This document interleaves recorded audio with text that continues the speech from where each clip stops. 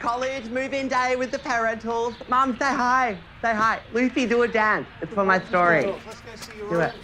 Go on, Becky, off the phone. Okay. We both decided to go to college in America because we're pretty much obsessed with America. Yeah. And Butterfield had the best courses for oh, what, what we we wanna do. do. Yeah. Since we we've were, been like, like 11, years old.